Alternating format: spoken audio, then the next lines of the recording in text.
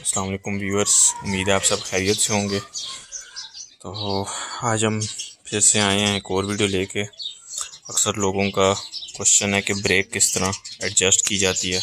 काफ़ी new bikers को नहीं पता होता कि इन बाइक्स की कैसे ब्रेक एडजस्ट की जाती है। तो इन पे मैं आपको बता चलूँ कि इन ब्रेक के ऊपर एडजस्टर गिवन होता है। इस पर सिक्स डिफरेंट वैल्यूज़ होती हैं one two three four five six और उस मुताबिक आपकी ब्रेक हार्ड या लूज़ की जा सकती है। तो जैसा कि आप देख सकते हैं, अभी ये ब्रेक में अगर अप्लाई करता हूँ तो ये काफ़ी हद तक ये लीवर प्रेस हो रहा है। ये चीज़ बहुत ख़तरनाक होती है अभी बाइक्स के लिए, क्योंकि जब आप हाई स्पीड पे अचानक ब्रेक अप्लाई करते हो तो ये पूरे पिस्टन को जाम कर देता है। नॉर्मली अगर आप इसी ब्रेक को हल्का प्रेस करो तो इसको यहाँ तक मूव करना चाहिए। अक्सर बाइकर्स का एक्सीडेंट भी हो जाता है, गिर जाते हैं स्लिप हो जाते हैं। तो हैवी बाइक्स के लिए कभी भी ये रिकमेंड नहीं किया जाता कि ब्रेक इतनी टाइट हो।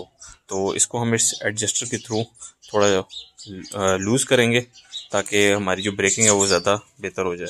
तो इसका एडजस्ट करने का प्रोसीजर ये होगा कि आप इसे हल्का सा यूँ पंप करेंगे और फिर इसको ट्विस्ट करेंगे। अभी पहले ये सिक्स ये फाइव पे था, अब मैंने इसे कर दिया वन पे।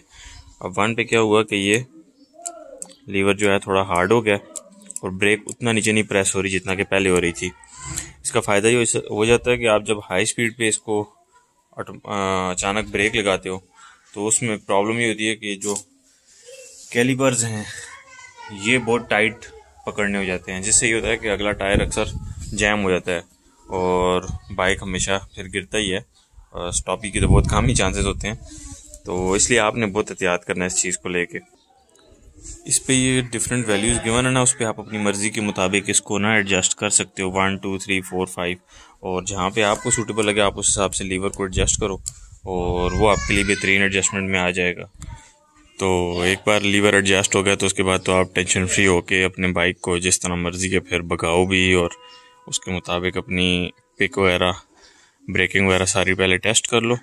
उसके बाद फिर आप इसको ट्रैक पे भी लेके जा सकते हो।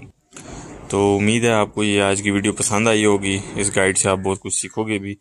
और ऐसे ही अगर मज़ीद वीडियोस देखनी है बाइक्स के बारे में हैवी बाइक्स के बारे में जानने के लिए तो मैं और भी वीडियोस आपके लिए बनाता रहूँगा। तो इन बाकी वीडियोस में भी मिलते रहेंगे। तो चले तब तक के लिए अल्लाह हाफिज़। एक बार फिर किसी और वीडियो में मिलेंगे।